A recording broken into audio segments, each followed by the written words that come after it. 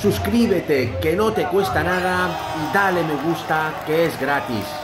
Antes de empezar, no te olvides de darle me gusta, pulsar el dedito de arriba, que no te va a costar nada, es totalmente gratis para que este vídeo llegue a más culés como tú. Buenas amigos culés, ¿qué tal estamos? Voy a empezar este vídeo hablando del tema de la Superliga. Esta mañana ha habido un tremendo enganchón y un conocido comentarista de Movistar con el CEO de la Superliga, Richard. Vais a flipar. Vamos a escucharlos. Bueno, a mí me gustaría saber cómo espera que el Girona, el Aston Villa, uh, el Unión Berlín uh, acepten entrar en su competición cuando acaba de decir que si hacen una buena temporada en sus ligas van a entrar en la tercera categoría. Es evidente que estos equipos uh, estarán más cómodos en un sistema en el que si hacen una magnífica temporada, ya el año siguiente disputan la máxima competición continental.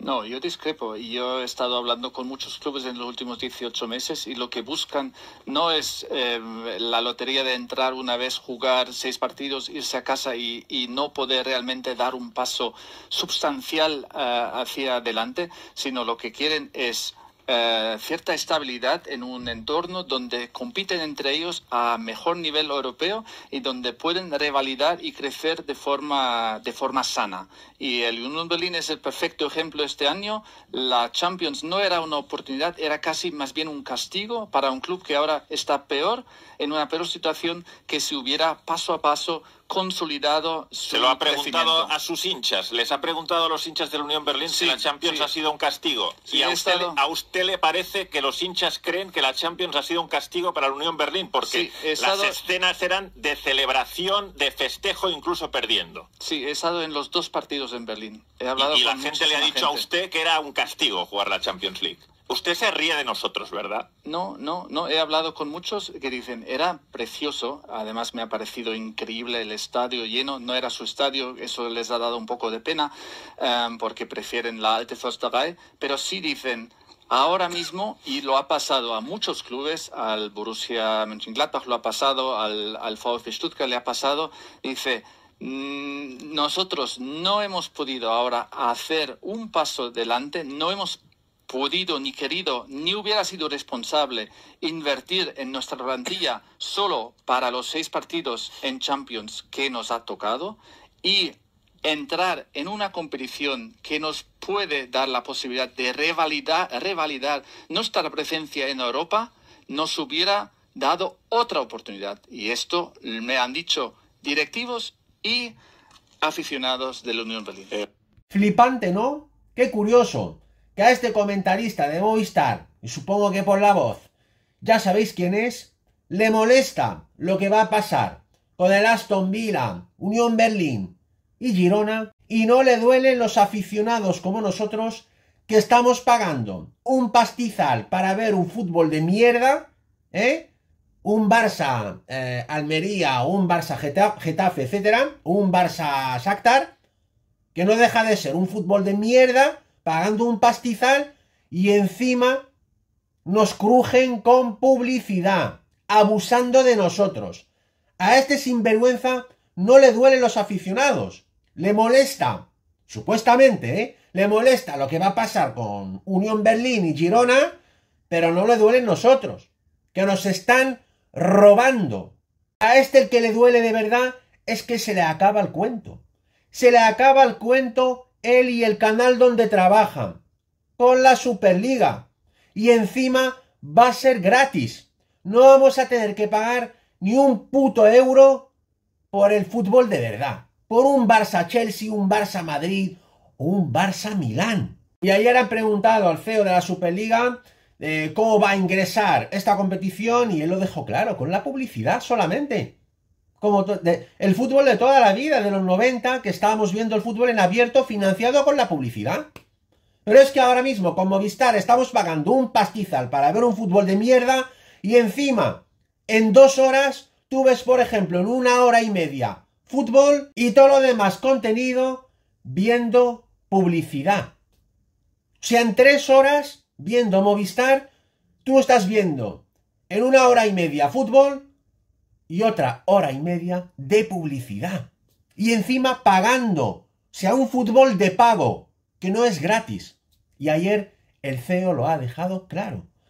La Superliga va a ingresar dinero con la publicidad como ha sido el fútbol de toda la vida, hasta que empezaron a abusar de nosotros estos sinvergüenzas y estos jetas. ¿Cómo se nota el miedo a la Superliga, eh? ¿Cómo se nota que se les va a acabar el chollo muy pronto? Y ahora sí vamos con el temazo principal. Otra derrota del Barça ayer en Dallas contra el América. Esto es lo que dijo Xavi después de finalizar el partido. Vamos a escucharlo. Hemos podido contar totalidad de los futbolistas de la plantilla debido a que en 24 horas tuvimos el partido oficial. Han jugado muchos jugadores jóvenes y los menos participativos en los últimos encuentros. Creo que hemos dado la cara. Se ha visto un buen espectáculo contra un muy buen equipo que es el América, reciente eh, campeón. Así que bien, vamos con la sensación de, de haber cumplido, somos profesionales y así dicho los futbolistas, ¿no? Nos debemos al club, sabemos todos y somos conscientes de la situación económica que, es, está pasando el club en estos, en estos momentos y, y, hemos dado la mejor versión que, podíamos. ¿no? Gente muy joven, contento porque han debutado muchos futbolistas, han tenido minutos y es muy positivo este, este partido para, para empezar, no entiendo a Xavi. Ahora dice, sabemos la situación económica del club, insinuando que se han sacrificado para que el club gane esos 5 millones de euros. Y el otro día la derrota contra el Antwerp Champions dice que no es importante esta derrota, sabiendo que el club ha perdido 3 millones de euros. Yo de verdad, si es que me da igual que sea amistoso, me da igual que jueguen con los chavales, me da igual ya todo. El Barça se está convirtiendo en un club perdedor. Ayer no hubo ni media entrada en Dallas a pesar de la rebaja de las entradas. Eso quiere decir que el Barça está perdiendo su atractivo a nivel mundial.